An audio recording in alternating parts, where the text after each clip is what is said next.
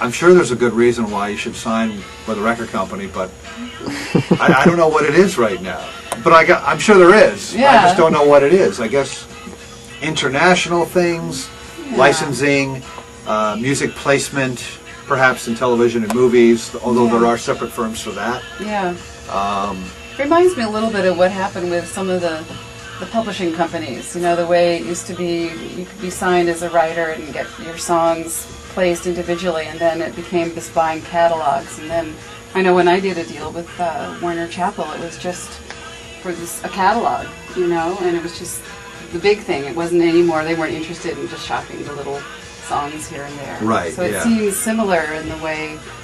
Well, and that's sort of reflective of, you know, what's the word I'm looking for? The uh, consolidation in every industry Right. in America, really. It's really true. So, like, yeah. one company owns close to a monopoly of everything, you know, three, four, five big major record companies. So, what they're cons- mostly concerned about their uh, shareholders Yeah. and their stock price. Yeah. So, they don't want to.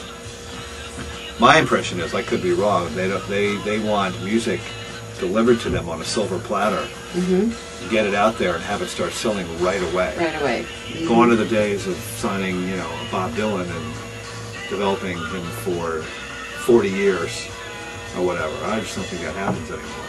I don't know, but I'm wondering whether also some of this, it seems to me that it's opened up a lot of different avenues for a lot of different things to happen now because people are trying to, they're scratching their heads and trying to think of new ways to invent the wheel a little bit, you know? Perhaps, you know. Um, Maybe some good things will come out of that, you know, Yeah. independent. Elton John had a funny quote. He's like, um, I think they should shut down the internet for five years.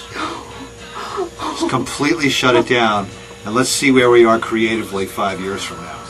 Interesting perspective. Interesting perspective. Yeah. Certainly one that we all grew up with, kind of. Yeah, absolutely.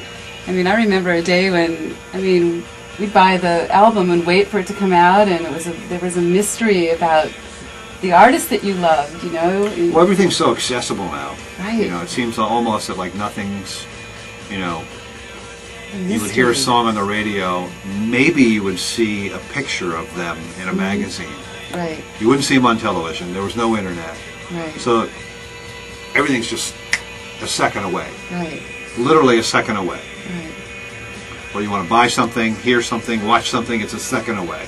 Yeah, that's true. So makes it less special maybe, I don't know. But- Yeah, but I feel we're less long lasting. I don't know. I don't know. I guess we're all in this kind of new land together to figure out But there's still lots of great songwriters. There's still lots of great songwriters. You Yeah, just had and lots of great Jesse songs, Harris so. on the other week. Who's Jesse Harris, great songwriter. Yeah, you have a history with Jesse, so people. Yeah, amazing guy. I used to say he was like the, the Woody Allen of songwriting. He's like did these little vignettes that were almost like little Woody Allen movies. you Right, know, yeah. That feeling that you get when and you that's watch a Woody great. Allen You know, movie. if you can uh, create a visual image of your song without Yeah. being video, Right. that's even better. even better. I want to thank um, Jonathan Clarke for taking My the time pleasure, Tina. to give us this blog that we're going to lovingly edit. Um, and we look forward to seeing him live November 7th and 8th at the New York Songwriter Circle, The Bitter End, 8 The o'clock. legendary bitter. End. legendary Bitter End, which now when uh, Kenny Gorka, who manages the Bitter End, said whenever anybody calls him legendary, it just means old. Yeah. but it's not. It's still live and thriving, and we look forward to seeing Jonathan and thank him so much for his time tonight. we'll see you there. Okay, see you there. Good night.